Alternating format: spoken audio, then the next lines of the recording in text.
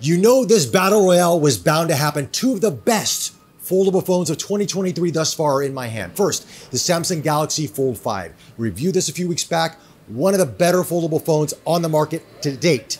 However, recently we got in our hands the all-new Xiaomi Mix Fold 3. Leica camera setup. Also Snapdragon 8 Gen 2. Four cameras on the back. We're gonna take these through their paces. Let's see who is going to be the foldable champion of 2023.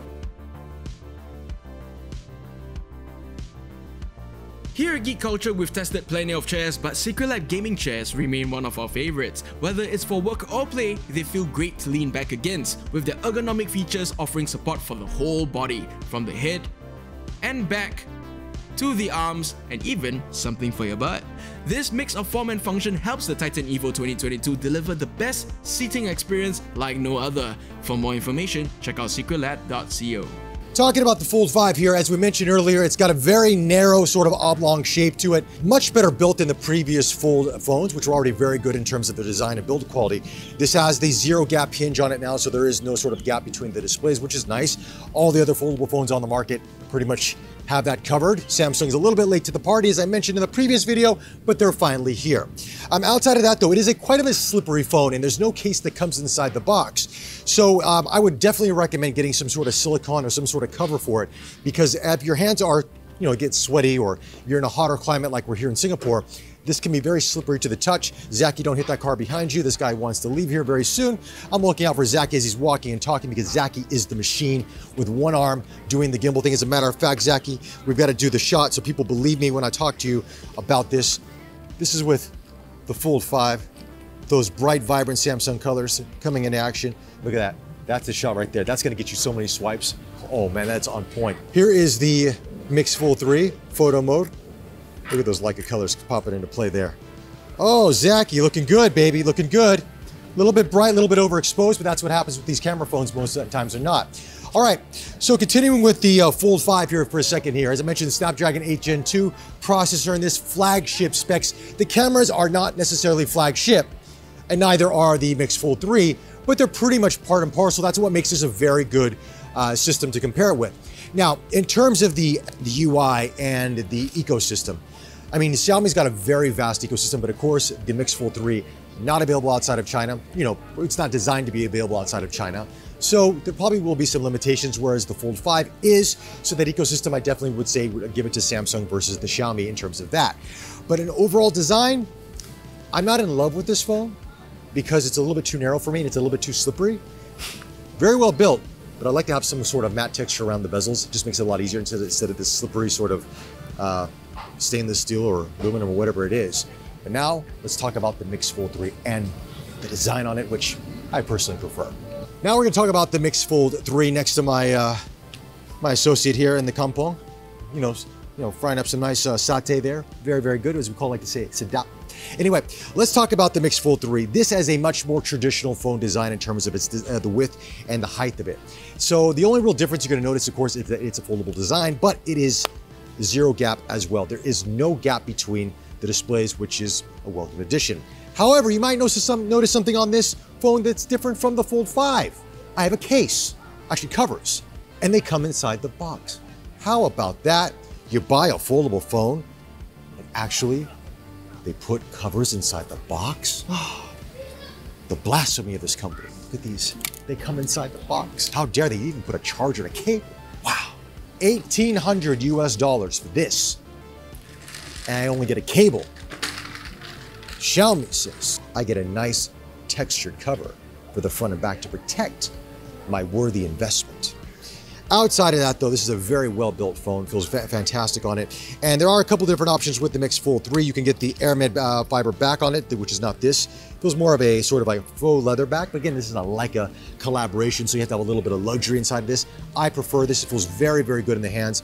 And the metal around this is also more of a matte finish as well, so it's much easier to grip. The Mix Fold 3 is slightly narrower than the Fold 5 and it feels that way in the hands too. And also what I like about this as well, it's the small things that matter, is that it's not flat on the edges, so it's much easier for your fingers to actually grab the displays and open it up, versus the Fold 5 where it's flat.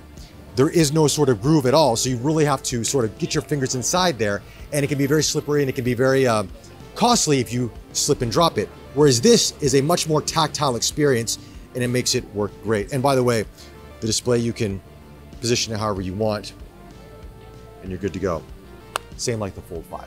So in terms of design, I'm gonna give the award to the Mix Fold 3. Hey, Zachy, come close a little bit. I wanna show you the best part of this case here. Look at this. Stand. The stand is built in the case. This is metal, by the way. Inside, no extra charge. Xiaomi, thank you. I'm standing with pride now. I've got a case that stands. And it's free. Not really gonna pay for the phone, but still, it's inside the box. Anyway, that's it for the design.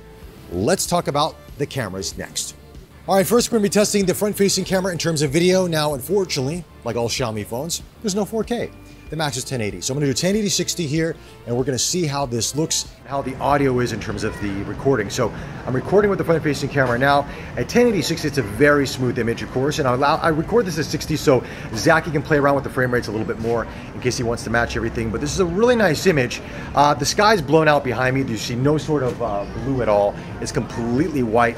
I'm exposed, but the sky is not, so hmm, not too sure about that. Anyway, we're gonna try it now with the Fold 5. So because the Samsung can actually be recorded in 4K 60, I'm going to be doing that right now. And as we see, we see a little bit more of the blue sky behind me. A little bit better dynamic range versus the Xiaomi, but that's always been Xiaomi's, Xiaomi's Achilles heel is the front-facing camera in terms of video. This is really good. Samsung does a great job with video, so I expect nothing less from Samsung.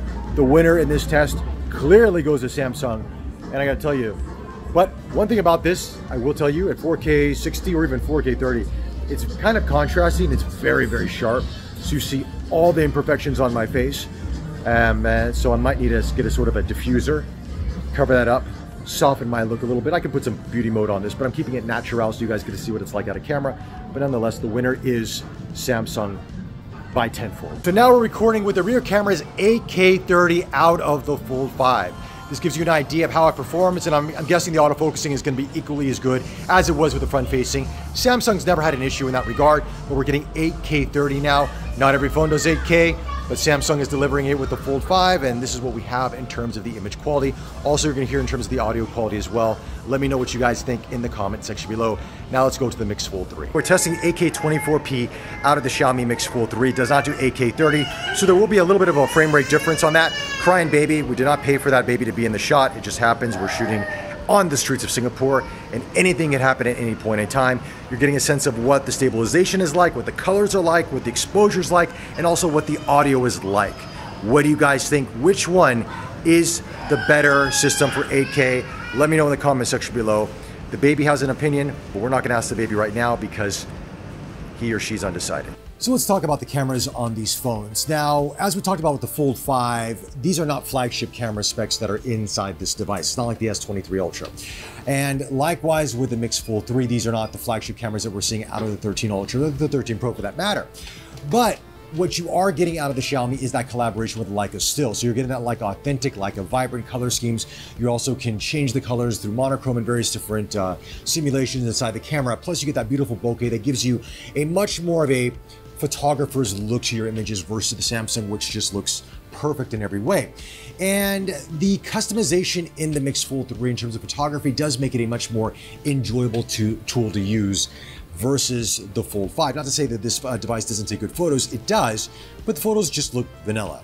Whereas with the Mix Fold 3, with the Leica collaboration, they have a bit more character. Now, these are my own personal opinions. You may differ from me, but this is what I'm seeing out of the camera systems. In terms of video, I'll give the edge to the Fold 5, but in terms of photography, I really like the colors out of this. I like the usability and I like the functionality. Now, like most smartphones out there, and I've seen some of your comments, you probably, you've asked me in the past, why are my phones so overexposed?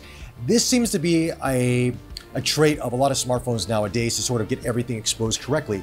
What I tend to do is I manually drop the exposure down to make those colors a little bit more rich, a little bit more contrast, bring down the shadows a little bit more to make it more look organic, like a real photograph out of, out of a mirrorless camera system or a DSLR, for example, versus a smartphone camera where everything is exposed bright and shiny and just perfect. I like a little bit of imperfection in my camera systems, and the Xiaomi gives me that look, but at the same time delivering fantastic image quality. So let's talk about battery life on these two phones. Now, battery life is decent, I will tell you that. I have had no issues in terms of using these all day. And because the brightness is not so severe on the Mix Fold 3, I mean, you're not pushing these phones to max brightness anyway, unless you're gonna be outdoors like we're at right now. We're in the shade because it's actually quite hot here in Singapore. But I find the battery life definitely more than a day for most people out there. Now, I'm a power user, so that depends on my usage. If I'm gonna be shooting more video, maybe not so much, but no complaints on that. In terms of the UI, obviously this is running the MIUI on this, as versus this is the, uh, you know, Samsung's own UI. And these are gonna be a personal preference. Now, Xiaomi's own UI does work relatively well. It's built into their ecosystem. It's very iPhone-esque in a lot of ways, which if you're coming from an iPhone or have an iPhone, and this is gonna be your secondary device, you're going to appreciate the similarities, whereas Samsung's is a little bit different. But I would give the edge to Samsung in terms of the versatility using the S Pen, being able to do multitasking in many different ways. The Mix Fold 3, you can do some of that, but not to the extent of the Samsung. This is where Samsung has really sort of pioneered the fold market and the larger phone display market because of the ecosystem and the flexibility that you can do with these devices. But I would say that this is not so bad, but I would say this is more of a phone slash larger tablet, but still basic phone fun feature, uh, functionality versus the Fold 5, which is sort of a tablet that you can fold up to be a phone. Well, my final thoughts on these two phones are this.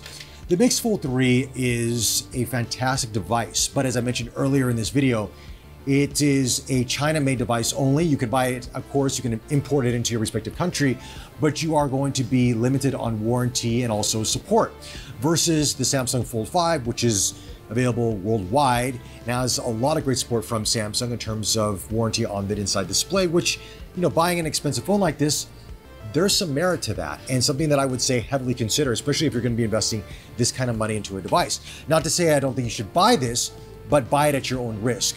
But if uh, history has proven us uh, something that with the 12S Ultra that was made for China only back in the day, then the 13 Ultra was made worldwide, we may see that happen again with the Mix Fold 4, for example, if that comes to market in next year. Maybe they'll release maybe they'll release this worldwide, and hopefully they do because this is a very very good device paired with Xiaomi's ecosystem. If it didn't have the Chinese ROM on it to it, we'd have more accessibility to it, and it would really give the Fold 5 a run for its money. As it stands right now, as a content creator's tool, if I'm looking for photography only, Mix Fold 3. If I'm looking for video, Fold 5. In terms of ergonomics, Mix Fold 3. In terms of support, Fold 5.